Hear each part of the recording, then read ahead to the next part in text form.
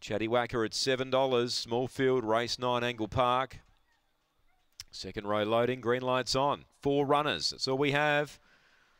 Favourites in the pink. Jack Get Back, they're ready.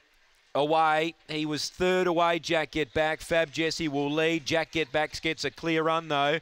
He moves to second powerfully now. Third is Chatty Whacker, and about seven away to All About Corey in a race of its own. Down the back, Fab Jesse on top, but here comes Jack.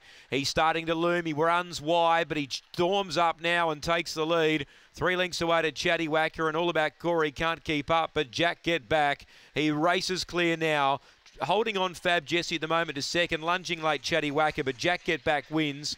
Chatty Whacker dive late and got second. Fab Jesse third, and all about Corey was tailed off the entire race. And the time here is sub 30. It's, uh, what are we looking here, dear? About 29.90 odd. Jack Get Back, number eight. The winner.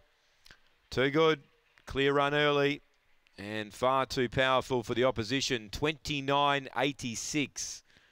29.86, not the quickest he's gone around here before, but uh, it was good anyway. Number eight, the winner. One second, Chatty Whacker. It looked like he was going to run third the whole way up the straight.